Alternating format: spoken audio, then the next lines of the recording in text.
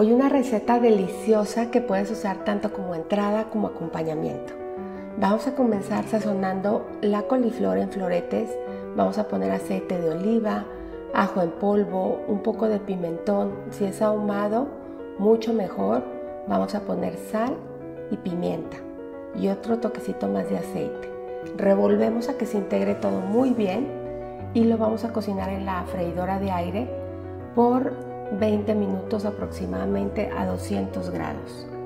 Una vez que está listo o en lo que está cocinándose más bien, vamos a preparar una salsa con jocoqui seco o yogur griego, lo que tengas, limón, ajo y aceite de oliva. Vamos a agregar un toque de sal y un poco de agua para hacerla ligera. En esta consistencia es como la necesitamos. Vean por favor cómo sale la coliflor deliciosa. Vamos a ponerle la salsa encima y un poquito de perejil. Guárdense esta receta porque les aseguro que les va a encantar.